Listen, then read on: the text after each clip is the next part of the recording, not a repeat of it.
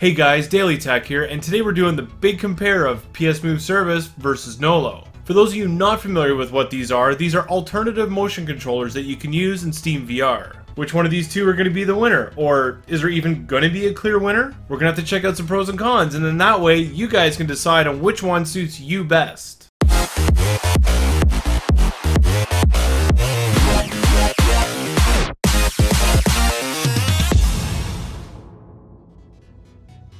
If this is your first time visiting my channel and you enjoy all different types of custom VR, don't forget to subscribe now so you don't miss anything else in the future. Now comparing these two systems has been one of the most asked questions I had since I started posting videos of Nolo. So I figured this video is well past due, so let's just get right into the comparison and we'll see how these things stand side by side. How I decided to compare these is by looking at them in 5 different categories to see how each one stacks up in each category. Each system has some pretty unique features to it, so it's going to be a pretty tight race. The first thing to look at and the most concrete thing to look at is the price. Nolo, it's really simple. It's 199 plus shipping plus import fees, and that's it. So once you add those three things together, that's the final price and everything else that you need is included. Then moving on to the PS Move service, things get a little bit different. Because the PS Move service is so custom and so modular, you could really put just about as much money or as little money into it as you want. So let's just stick to the bare essentials of what you're going to need to get things rolling. You're going to need about 2 to 4 cameras, and those cameras are about 5 or 6 bucks each, so for the cameras, you're probably going to spend roughly $20. The controllers themselves are about 20 to $30 if you can find them used online. Since the controllers are pretty old, they're really not too hard to find. You just got to be a little bit diligent and keep looking every day. So you are going to need two of these to make the comparison equal, so you're looking at about $50 for the two. Now that the virtual HMD is supported by the PS Move service, this is going to save you having to buy a third controller. This means you can build your own custom head marker for as low as 5 bucks. Not only is this going to save you money, but it's also going to make it a lot lighter on your head. If you want to check out how I made that head tracker, check the card in the top right of your screen. I got a couple videos to show you how to make it and get it installed. As far as getting the cameras hooked up, you are going to need USB extension cables. You are probably going to need a mix of active and passive cables. Depending on how far away you want to mount the cameras or how neat you want to route the cables, you could be looking at anywhere from 10 to about maybe 40 or 50 dollars. You're also going to need mounts for all of the cameras as well. Luckily, you can get little corner braces from Home Depot. They're going to cost you about $5 for a 4-pack. And those things are going to work just great. I've been using them for over a year and the cameras are holding perfectly.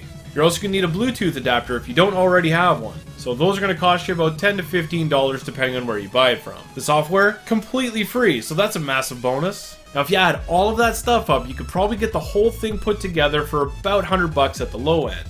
Even if you were to add the Navi controllers to the setup to give you a little bit more customization on your controllers, it still probably won't push you too much higher than 150 bucks. So once you've collected all of the hardware that you need, you're probably looking at roughly half the price of what Nolo is. Maybe a little bit higher depending if you don't have any of the gear at all. So based on the price alone, without having to drive around and pick up all the equipment, PS Move service is definitely going to be cheaper than Nolo. The next thing we're going to take a look at is getting things set up. As it stands right now, because Nolo comes as a full all-in-one package, it is much easier to set up. At the time of filming this, all you need to do is download and run the Nolo driver, make sure Riftcat's going, connect up the hardware, put the headset marker on your head, and you're about ready to go. There's a couple extra steps you need to do if you want to mount the base station on the ceiling for the 360 experience. You're going to need to find a 3D printer to print out the clip to do that, and you're going to have to replace one of the DLLs inside of the install directory. In my experience, I did like Nolo as a front-facing system a little bit more than the ceiling mount. The ceiling mount was pretty cool, but it did have different dead spots than the front-facing. When it's facing in front, most of the dead spots in front of you are pretty much gone. But the difference between ceiling mount and front facing is an entire different video and we're not going to go there right now. So all things considered, Nolo is just about as plug and play as you can get. Riftcat's also working with them right now to integrate it even further, so there's going to be even fewer steps getting it running. RiffCat eventually is going to be able to handle the entire thing. So once that happens, it really is going to feel like just one system that you're running. Then moving on to the PS Move service. This is where things get a little bit more spicy. You're gonna have to mount all of the cameras in different corners of your room. You're gonna have to run cables over to them, and you're gonna have to find the right USB ports to plug them into your computer. When dealing with a four camera setup, a lot of people run into USB bandwidth issues because these cameras are really bandwidth hungry. So for the first time setting it up, you are gonna have to do a bit of troubleshooting with this. But with a little bit of patience, you will find the right combination. Once you got the camera set up in your room, you're also going to have to make sure you've got consistent room lighting. So if that room's got a great big window, you better find something to cover it up, or just make sure you plan to play after the sun's gone down so the room lighting is always going to be the same. If you're not buying the third controller for your headset, you're going to have to build your own marker. This does take a little bit of time. You'll also have to edit your SteamVR.VR settings file in your SteamVR installation. This part is kind of good, kind of bad, all in one because you do get to fully customize to exactly how you want, but it does take time and it's a little bit of trial and error to find what works well for you. Then yes, SteamVR does handle the motion controllers just fine, but the head tracking is a different story. So we need to install FreePie and PS Move FreePie Bridge. These two programs together is what's going to give us the head tracking. So again, that's more programs to get started before you play, and more setup that you're going to need to do. The controllers themselves, to get them set up and calibrated, is a little bit of a task on its own. You're going to have to connect the controllers to the computer by Bluetooth, make sure the color is calibrated for all the cameras. You're to have to do a pose calibration and make sure the room layout's going to look just right. And even after doing this a whole bunch of times, I don't think I've ever nailed it the first time through. So all of these setup steps are completely necessary to get things running. They're not very forgiving at all, and it does take a lot of patience and precision. So if you are attempting it, make sure you know where to reach out for help. A great place to start is right here at the PS Move Service Google Groups. You'll find all kinds of different ideas and troubleshooting steps in here. I'll put a link to it in the description below. So needless to say, it's a little bit of a pain in the ass to get everything running the way you want. And even if you have everything all set up and ready to go, there's still going to be a little calibration to do from time to time. If a camera gets bumped, you're recalibrating. If the lighting condition changes in your room, you're recalibrating. And also, you're always going to want to try to tweak it just a little bit to get that little bit more performance out of it. Now, there is an opportunity to get this integrated with Riftcat. However, since it's a free software and there's just a small handful of developers that are working on it, we really shouldn't be expecting this sort of feature to come soon. But lastly, let's end off on a positive note. It is 100% wireless once you're finished. So that does dull the pain just a little bit of how difficult this is to set up. For those of you keeping score, that's one point for Nolo, one point for PS Move Service. The next thing to look at are the controllers themselves. Now looking at the Nolo controller first, this thing is much newer. It looks far more modern and rightfully so because it's made almost a decade later. This controller as well, it's painfully obvious that this was mocked from the Vive controller. The trackpad on the front of it is almost exactly the same as the Vive, it's pretty much got the same feel as well. There's also the system and application buttons right here as well. Now the difference on these is that the Vive controller has the one button above the touchpad. I think actually having them both below the touchpad is much better. This way you're not having to reach awkwardly above the touchpad to hit that button. There's also the grip buttons on the side of the controller. I'll let you take a look at that right there. There's one of these on each side, again, just like the Vive controller. And probably my favorite part of the controller is the trigger on it. This trigger feels fantastic. It's got great resistance to it, and there's a really nice click once you bottom it out. This thing is done absolutely perfectly. So in most ways, this controller is pretty much flawless except for one small thing. And yes, that was a little bit of a pun because the controller itself does feel very small. For me, I wish this controller was about 5 to 10% bigger. I think it would fit in your hand much nicer. As you can tell, holding it up next to the PS Move controller, the size difference is pretty obvious. And when you're holding this thing, you're holding it in your fingers as opposed to holding it in your palm. So I'll let you take a look at it there. So it's, right in your fingertips as opposed to the PS Move controller, which actually fits right in your palm. And that is a lot more convenient. It just feels a lot nicer. You feel like you have a better grip on it. So when you are holding this thing by your fingers, you do have to get used to hitting the buttons and moving your hand around while it's not in your palm. It does make it feel a little bit more clumsy, however, I wouldn't say it's a complete deal breaker. But the PlayStation Move controller does fit really nice. It feels like you have a really good grip on the controller. I have no worry about throwing this thing, and I don't even care that there's no wrist strap on it. But the button placement is a lot different than the Vive. This adds a little bit of complication because there's no grip buttons on the sides, and you also don't have that big touchpad in the middle. So what you have to do is, as I said earlier, you have to map the buttons to where you think is going to work best. So the four buttons that are going to be around the PlayStation button, you can map it for your application button menu and for the system button.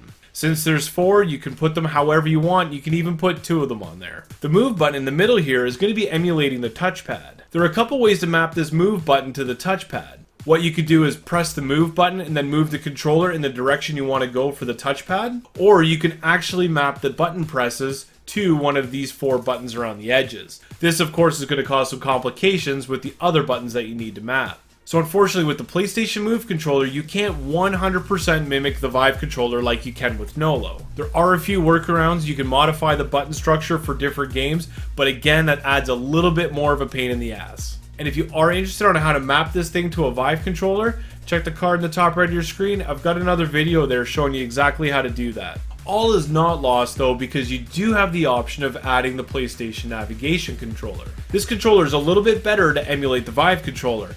The thumbstick on the front is going to actually mimic the entire touchpad. You have two buttons on the front here, and that's going to be for your system menu and for your application menu. And this D-pad here can actually be programmed for just about anything you want as well. On the back of it, you're going to have your normal trigger right here. And also up here, you can map that for the grip button. And when you're playing, that actually feels like it makes a lot of sense. But the problem is, is that you do need to use this thing with the PlayStation Move controller, so you'll have to make your own clips to join the two together. The PlayStation Move controller is a little bit heavier than what the Nolo controller is, but the weight difference really isn't all that significant, and I don't think you're going to notice it while you're playing. The one thing that is a huge pain is that to charge this thing, you either need a PlayStation 3 or 4, or you have to have it plugged into your PC while the PC is running. Outside of those options, you can use a proper charging dock that are built for these Move controllers. Whereas the Nolo controllers come with this really fancy charging cable like you see here. Then you got three micro USBs here to charge both controllers and the base station all with one USB port. So to pick a winner between the two controllers is really subjective and I don't think there is a clear winner. I myself have gotten really used to using the PlayStation Move controller. The emulated touchpad for me works really well, and the fact that it fits in my hand so nicely is a huge bonus for me.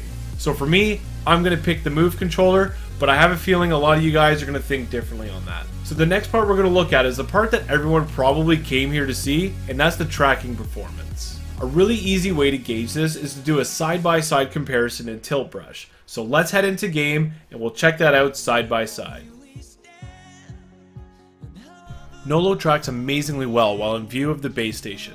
This is important because since there's only one base station, you will find dead spots. You can move those dead spots around if you ceiling mount it, but since there's only one line of sight, you can't fully get rid of dead spots. This is where the PS Move service just stomps it. You have a full 360 degree view and you can reposition cameras to ensure you have the best coverage possible. Just because it's fully 360 doesn't mean it's as accurate as Nolo, because it's not. This is really a limitation of the low-res cameras that track the controllers, different room lighting, and precision of how well you calibrated everything, not to mention there's also a few other factors. You can get some seriously good tracking, but the Nolo will still feel much smoother and more precise. Best of all, there is no calibrating with the Nolo controllers, so as long as it's set up right, it's going to work great.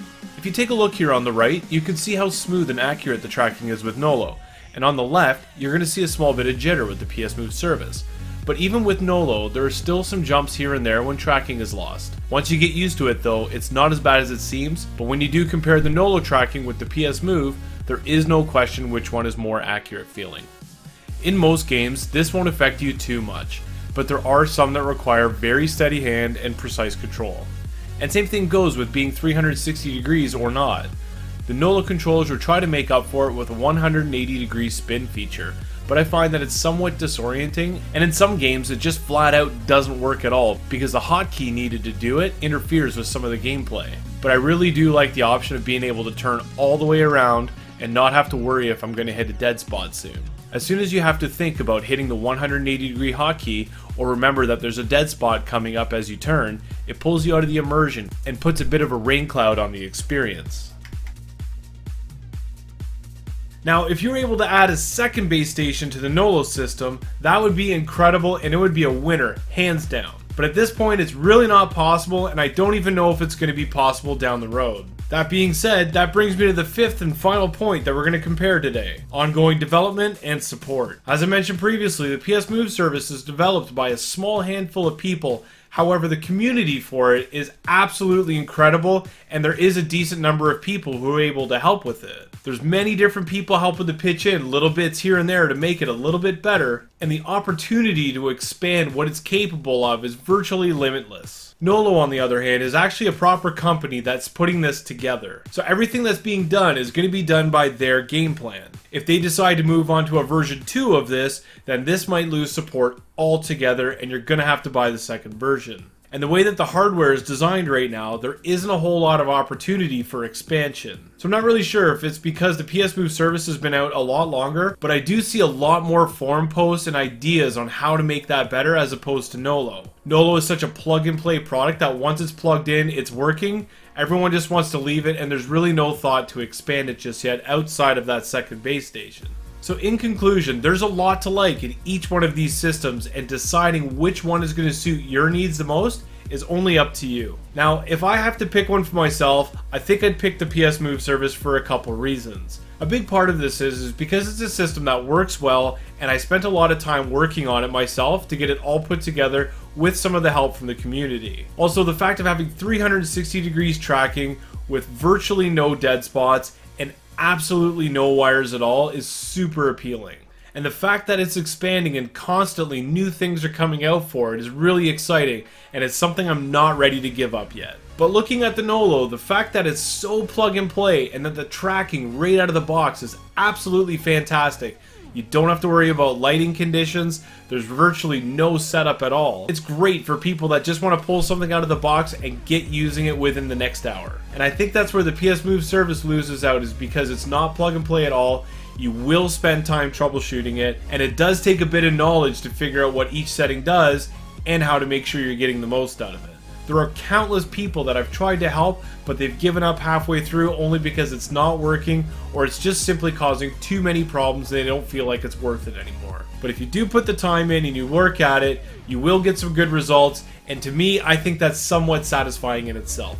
So if you're like me and love tinkering with this stuff, putting things together, and seeing the final result after a bunch of hard work, the PS Move service is probably exactly for you. Otherwise, you might just want to take the easy way out and go with Nolo. Nothing wrong with it, it's just really what is going to work best for you. So hopefully this video helped to give you a little bit better idea of what each system involves and which one is going to work best for you. I wish I could say one of them is perfect, but neither one is. They each have different things they excel at and different things that make you nuts. And if those things don't really make you nuts, then maybe the choice is going to be a little bit easier for you. Thanks for watching, and we'll see you next time.